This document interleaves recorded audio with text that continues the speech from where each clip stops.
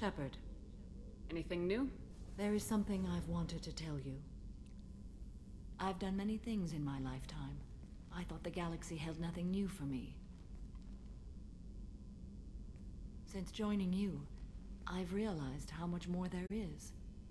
I am ready for whatever comes, but I do not fool myself about our chances. We'll finish this mission and live to see the end. I hope you are right. What? I thought I could flirt with you. Boo. I should go. Of course. Where's the flirting?